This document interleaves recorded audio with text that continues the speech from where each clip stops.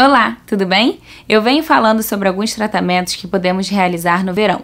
E no último vídeo eu falei sobre alguns tipos de peelings mecânicos. Eu falei sobre o peeling ultrassônico e o peeling de diamante. Mas hoje eu vou falar sobre o que eu mais amo, que é o peeling de cristal. Quer saber mais sobre ele? Fica comigo nesse vídeo.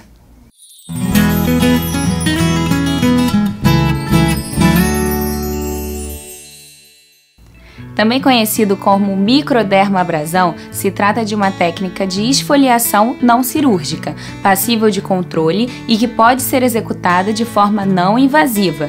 O procedimento promove a renovação celular com estímulo da mitose celular fisiológica. O procedimento de peeling de cristal se baseia na aplicação direta sobre a pele de um aparelho mecânico gerador de pressão negativa e pressão positiva simultâneas, em que são utilizados microgrânulos de óxido de alumínio liberados na superfície da pele pela pressão positiva, provocando erosão na camada da pele.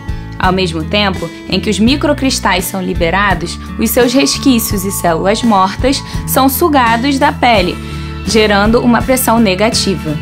Esses microcristais não poderão ser reutilizados, assim como também aparelhos que contenham ponteiras de plásticos, as mesmas também devem ser descartadas. Agora eu vou demonstrar como seria a prática dessa técnica. Oi, então agora é a hora da prática. É, lembrando que a Rani, ela trabalha conosco, ela é apenas uma modelo e a gente vai só fazer uma breve demonstração de como é feito o peeling de cristal. Só que antes ela tá aqui, ela tá maquiada, eu vou preparar a pele dela, vou mostrar como é que a gente prepara a pele para receber o peeling de cristal. E é isso. Então, eu vou usar um sabonete líquido, pode ser um gel de limpeza também. A técnica de microdermabrasão é indicada para atenuar rugas e linhas de expressão, sequelas de acne, clareamento das camadas mais superficiais da epiderme, foliculite, atenuação e prevenção de estrias. Agora vou usar uma trouxinha de algodão umedecida. O peeling de cristal promove um afinamento do tecido epitelial e por isso eu utilizo muito como uma técnica de preparação da pele para outros procedimentos mais invasivos, como peelings químicos com ácidos, microagulhamento e lasers. Agora vamos utilizar um esfoliante.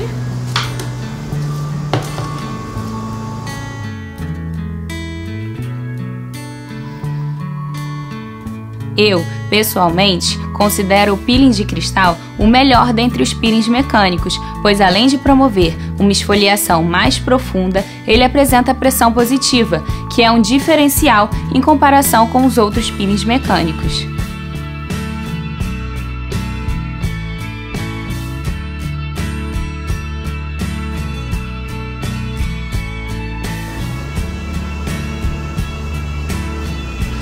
Agora que a pele dela tá bem limpinha, a gente vai fazer o peeling de cristal.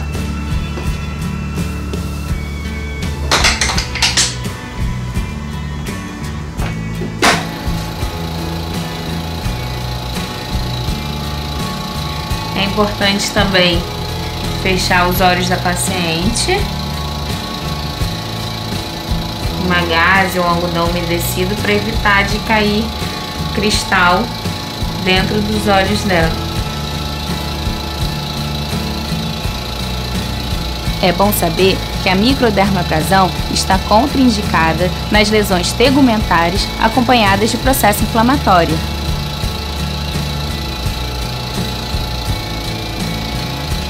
Sempre de baixo para cima, no sentido da contragravidade, né?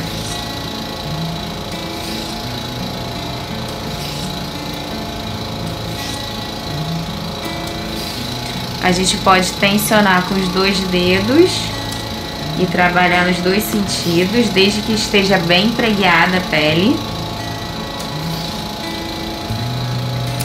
Lembrando que o peeling de cristal a gente pode atingir até nível médio a profundo com ele.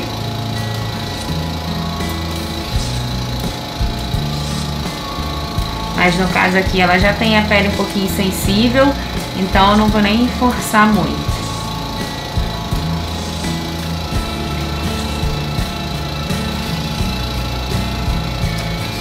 Nessa região dos pés de galinha é legal a gente segurar dessa forma, estimular bem para ajudar no rejuvenescimento.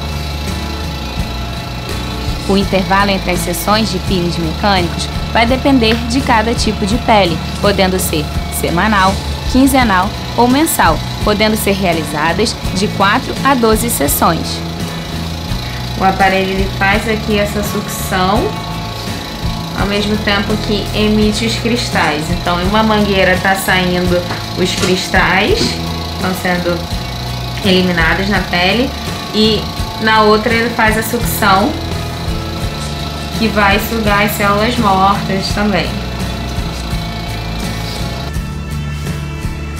Então agora é, finaliza o peeling de cristal, a gente limpa a pele, pode utilizar um tônico aqui e após isso utiliza-se ácidos, máscaras que vão é, permear melhor após o peeling de cristal.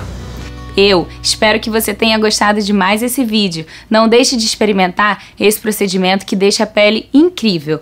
Nos vemos nos próximos vídeos. Não deixe de se inscrever no canal, de compartilhar com seus amigos e de comentar, que a sua dúvida pode se tornar um novo vídeo.